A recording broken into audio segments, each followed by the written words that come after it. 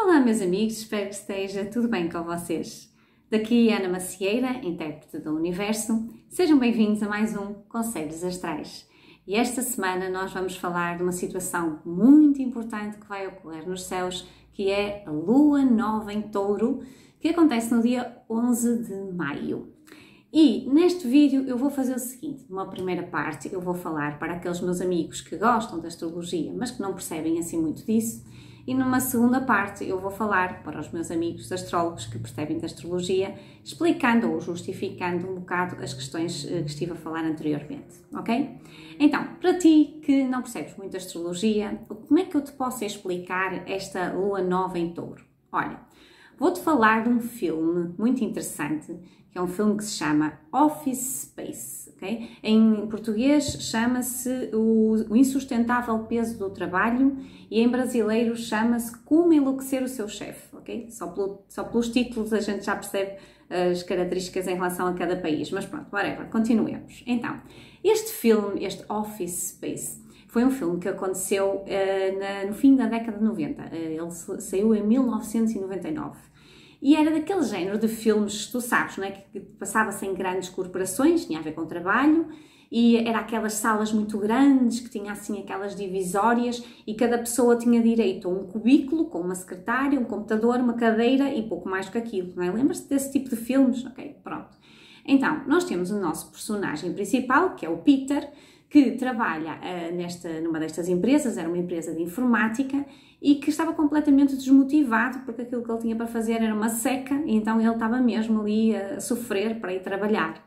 Então ele resolveu ir fazer umas sessões de hipnose em grupo e numa dessas sessões de hipnose ele estava a dizer ao hipnoterapeuta que estava completamente desesperado, que cada dia era pior do que o outro, que ele estava mesmo completamente. Uh, queria mesmo fazer ali uma mudança qualquer e pedia-lhe se ele não se importava de o hipnotizar de forma a que quando ele chegasse a casa à noite tivesse a sensação de que tinha passado o dia a pescar, ou seja, que o dia dele tinha sido muito relaxante, ok? Então o hipnoterapeuta disse-lhe que não podia fazer isso, mas disse-lhe que o ia ajudar. E então baixou assim um bocadinho a luz da sala e começou a dizer: Então agora vais relaxar, vais começar a relaxar. Entrou mesmo na parte do transe em si, vais começar a relaxar relaxas os pés, as pernas, os braços, tá, tá, né? e te, sentes as tuas pálpebras a pesar, e cada vez que tu relaxas, tu consegues libertar os teus problemas e as tuas preocupações desaparecem. Todas as preocupações que tu tens sobre o trabalho começam a desaparecer e vão-se de vez. E, eh, e depois ele diz assim: Eu vou contar até três e uh, tu vais entrar em relaxo completo, mais uma vez, as tuas preocupações desaparecerão, as tuas ambições não serão mais, e tu permanecerás nesse estado até eu estalar os dedos. Então ele começa a contar: três, tu sentes-te muito relaxado. Dois, todos os teus problemas do trabalho já não existem mais. Um, tu consegues superar todas as situações. E quando ele vai para estalar os dedos, dá-lhe um baque, ele cai para o lado e desmaia. e ele não consegue chegar a estalar os dedos, que supostamente tiraria o Peter desta transe. Então o que acontece? O resto das pessoas que estavam na sala vão todos em cima do doutor a perceber o que é que se passa com ele, não é? E o nosso Peter, nosso amigo Peter, que estava ali sentado na cadeira, permaneceu impávido e sereno ali na sua questão de ok, está tudo calmo, está tudo relaxado. Okay? Entretanto, o senhor não se safa, tem que ir de ambulância e o Peter continua ali, nunca mais ninguém se lembrou que ele estava na transe, ele continua ali. Então levanta-se e vai viver a sua vida naquele estado de relaxamento, okay? naquele estado de yeah, está tudo fixe, não se passa nada, zen, ok? Eu estou muito bem os meus problemas não existem. Então, enquanto que até essa parte do filme nós vimos todas as dificuldades que ele tinha em relação ao seu trabalho e os chefes que estavam sempre a pegar com ele porque ele às vezes podia se esquecer de alguma coisa e mesmo o trabalho que era uma seca, o computador às vezes até pifava e não dava aquilo que ele queria e uma série de acontecimentos que nós, fomos, que nós íamos vendo.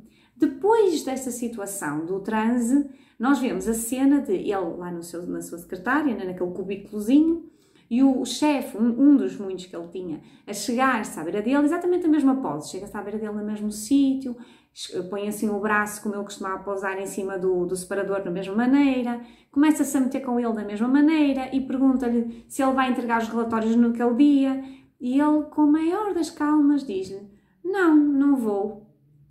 E depois vemos nós que ele estava a jogar Tetris no computador. E ele: Olha, não vou, mas sabes, volta daqui por mais um bocado, porque eu daqui por um bocado vou ter uma reunião ali com os doutores. Depois a gente fala outra vez, está bem? E levanta-se e, e sai do escritório. O, o, o chefe fica assim a olhar, a pensar: meu Deus, o que é que se passa aqui? Não é? Isto é um bocado estranho, mas nem sabia como reagir porque não estava à espera daquela atitude por parte do, do Peter. E entretanto, o Peter vai lá então para a, a, tal reunião com os doutores, que eram os chefes, eram, eram mais importantes, eram pessoas que tinham mais importância naquela empresa, e, e um deles começa-lhe a perguntar: diz, olha, descreva-me o seu dia de trabalho aqui. E o Peter, naquela coisa do relaxamento, não é? Vira-se para ele e diz assim: Olha, eu normalmente costumo chegar 15 minutos atrasado. Entro pela porta do lado, porque assim o meu chefe não vê. depois, olha, depois me sentar na secretária, fico para aí tipo uma hora ali a navegar. E eles perguntam, a navegar? E ele, é, assim, eu faço de conta que estou a trabalhar, mas ninguém repara que eu não estou a trabalhar. E eles ficam assim a olhar, então ele... E depois ele diz, ah, normalmente até mesmo depois do almoço também costumo fazer isso, também fica ali um bocado ali a navegar e tal, e olha, na realidade eu acho que durante a semana eu devo trabalhar assim a sério, a sério, devo trabalhar para uns 15 minutos, não trabalho mais do que isso. E eles ficam assim a olhar para ele e dizem, ah, é, então mas conte-nos mais sobre isso. Então eles ficam ali, na mina cadaqueira, pois nessa parte nós não ouvimos, mas ficam ali, até que nós, chega uma parte que nós já banhamos outra vez a história, e está assim o Peter todo relaxado na secretária, lá assim tipo a dizer, a dizer, ah, olha, não é que eu seja preguiçoso, sabe? É que na realidade eu não quero mesmo saber. eu não quero saber, porque olha, se eu trabalhar muito, não me pagam mais por isso, ok? Mas por outro lado, eu tenho oito chefes a chatearem-me a cabeça todos os dias e cada vez que eu faço um erro, tenho oito pessoas a virem-me chamar a atenção que eu fiz aquele erro. E eles começam a dizer, oito chefes, e ele é verdade, isto é uma, repare, faz com que uma pessoa trabalhe só o suficiente para não ser despedido.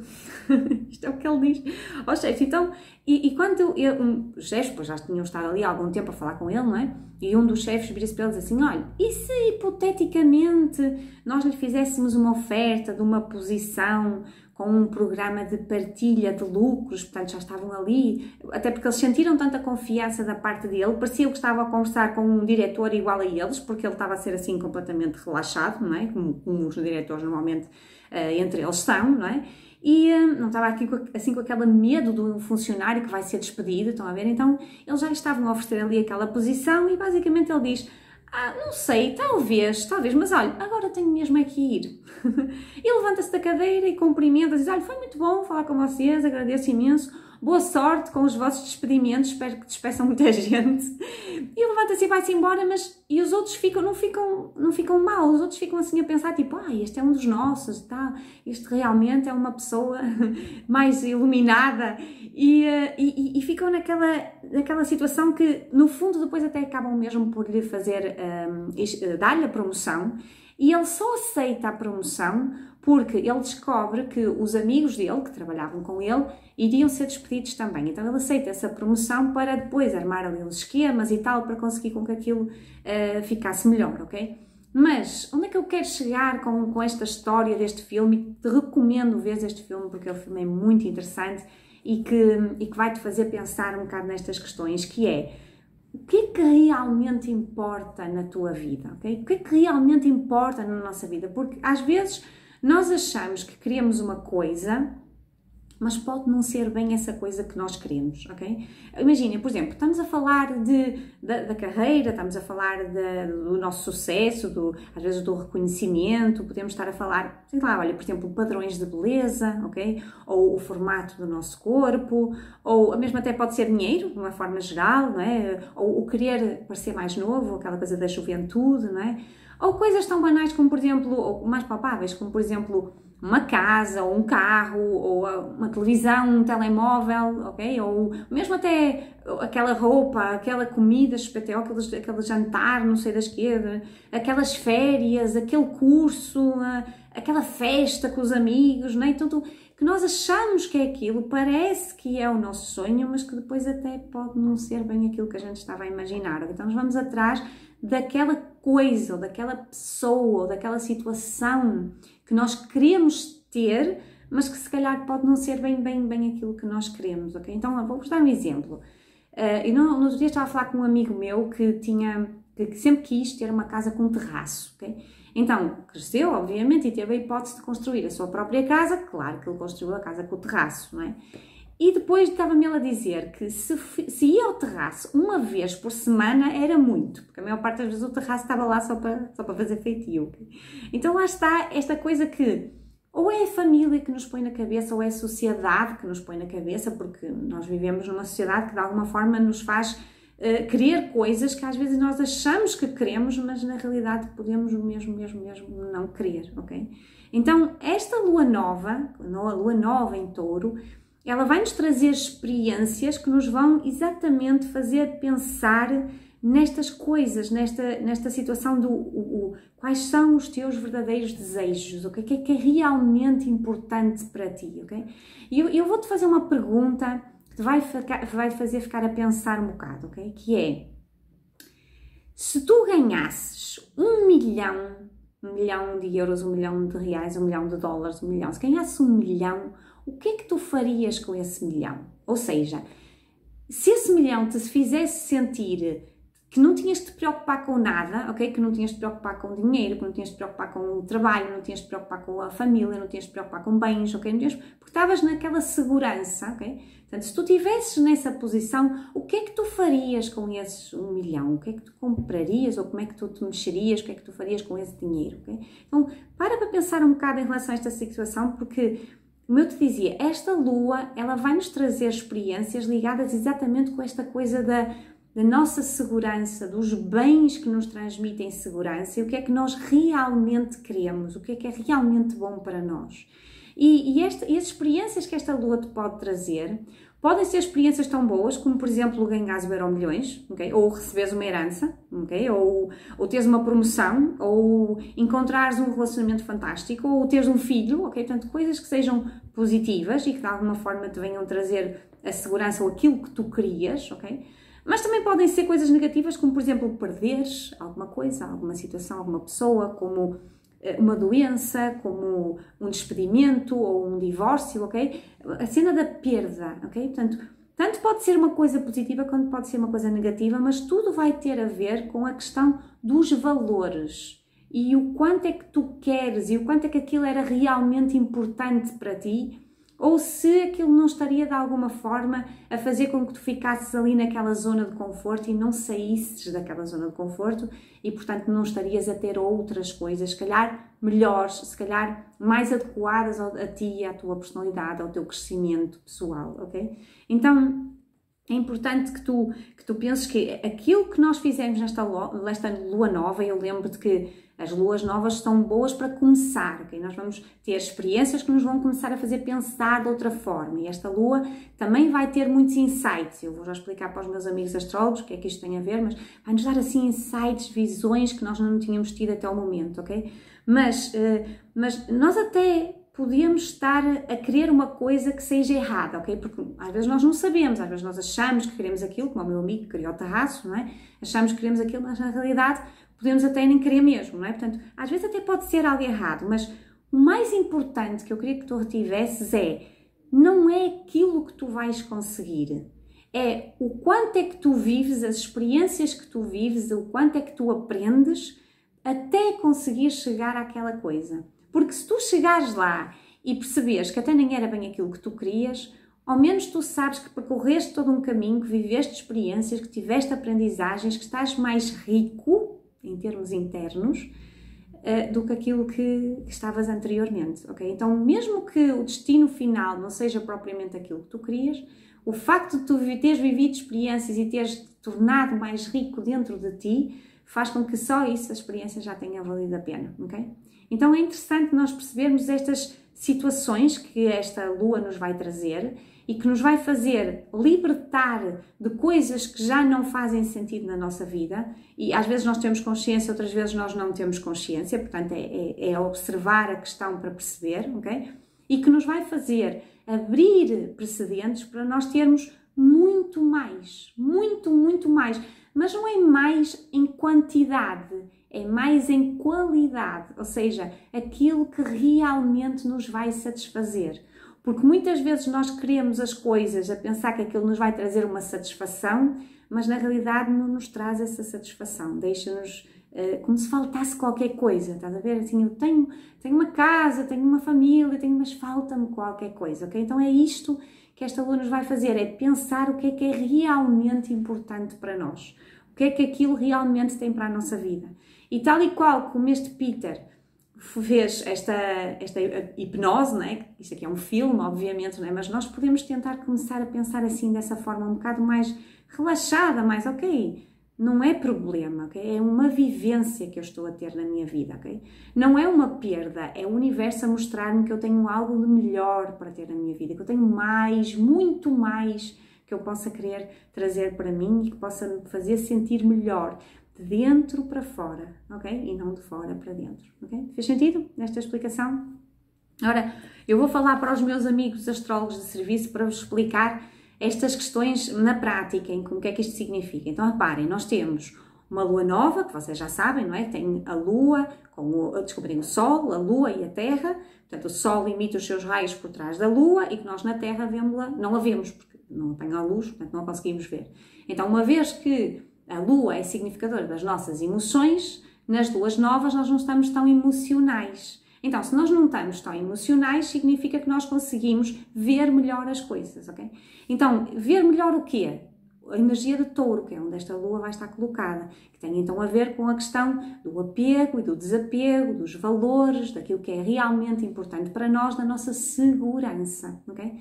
Mas há aqui um apontamento muito interessante, aliás, vários, mas há aqui um apontamento muito interessante que tem a ver com a questão de, de, de, estarmos a falar em relação à ligação que esta Lua e este Sol estão a fazer com a Lilith, ok? Que a Lilith está mesmo coladinha a esta energia do Sol e da Lua.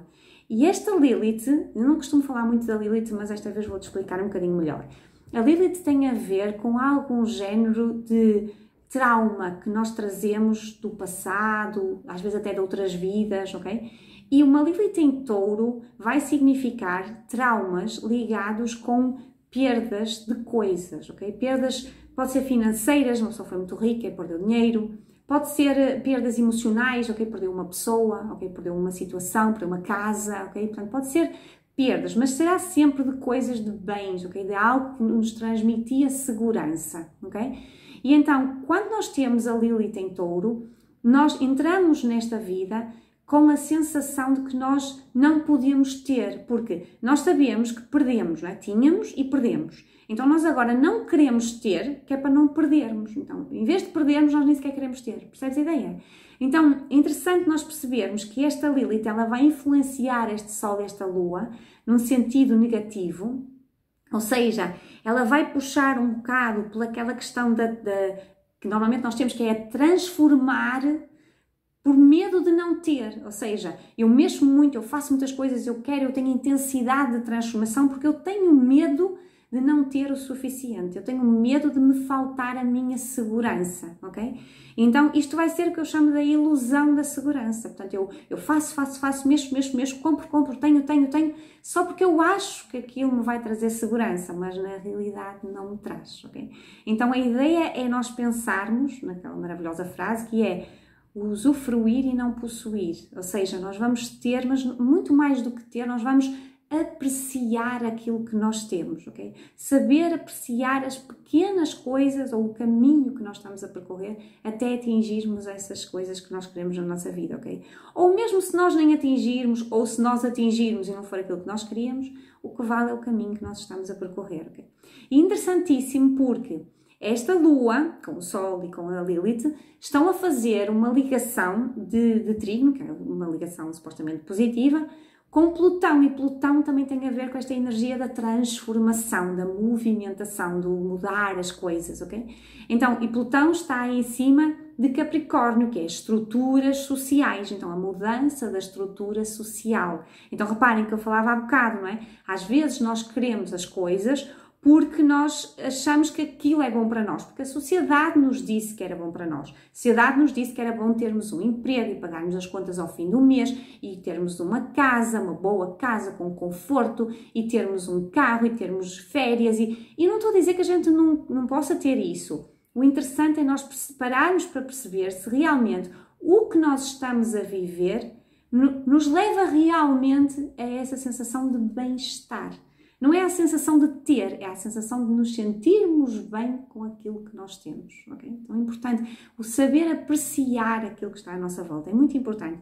E mais outra coisa interessante que é, esta lua este sol fazem também um sextil, ou seja, mais uma ligação positiva, com Neptuno em peixes, que nos fala sobre os nossos sonhos, aquilo que nós às vezes achamos que não vamos conseguir atingir, porque é uma coisa muito grande, não é? Aqueles sonhos que nós, tipo, quando éramos pequeninos, o que é que queríamos ser quando fôssemos grandes? Este género de perguntas assim, ok?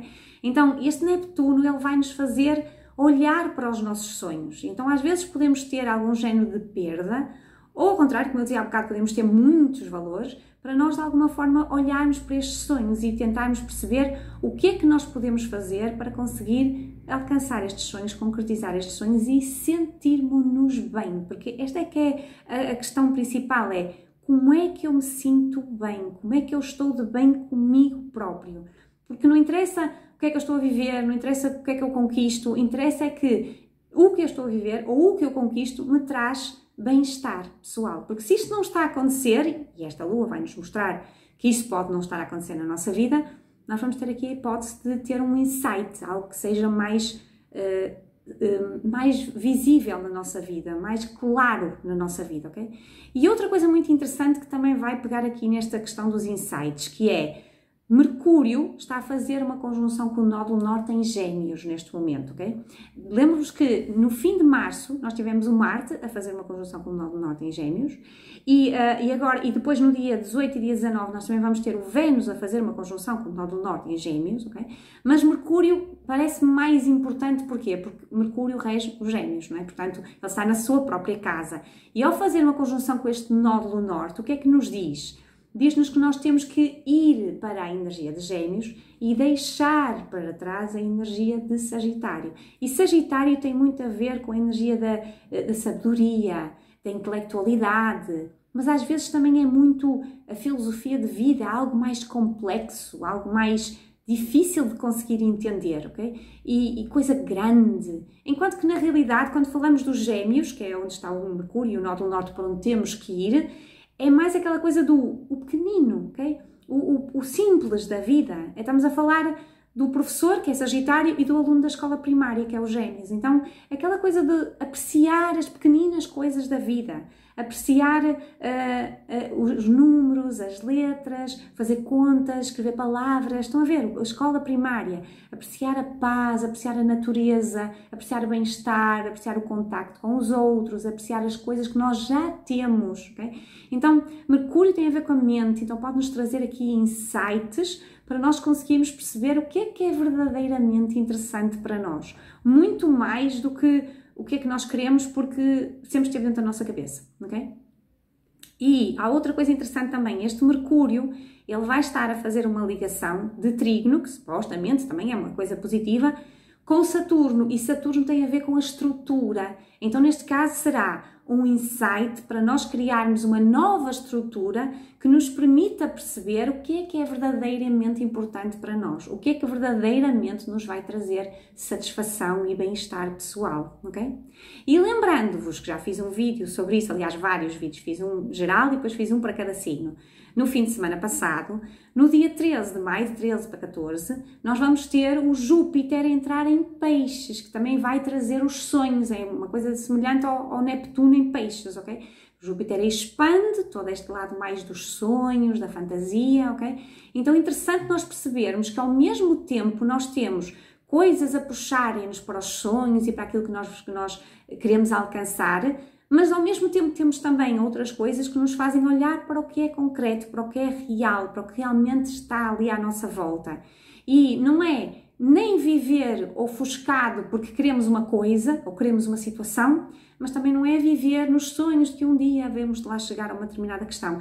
É encontrar um meio termo, é colocar os sonhos na prática, é ver realizações. E para nós vermos isso, nós temos que ir com calma. Nós temos que desapegar do que está para trás, avançar para coisas novas, sabendo que essas coisas novas pode ser o certo, pode ser o errado, mas não interessa o certo ou o errado. Interessa muito mais é o caminho que estamos a percorrer, as experiências que estamos a viver até atingirmos essa situação, ok? Então, muito interessante nós vermos estas questões aqui todas ligadas e que realmente mexem muito aqui com os nossos valores. E amanhã já estarei por aqui para vos dar uh, um vídeo para cada signo, para vos explicar a cada um de vocês como é, em que área que, este, é que esta lua nova vai calhar e como é que ela vai trazer circunstâncias para as vossas vidas. Mas é, é interessante vocês ficarem aqui com esta ideia do o que é que eu vou querer mudar, o que é que é realmente interessante na minha vida, o que é que eu realmente quero, o que é que me realmente transmite segurança. E lembrando-vos que a verdadeira segurança está sempre dentro de nós. Okay? Nós podemos conquistar muita coisa, podemos até perder tudo, mas nós, com a nossa verdadeira segurança que está dentro de nós, voltamos a conquistar outra vez.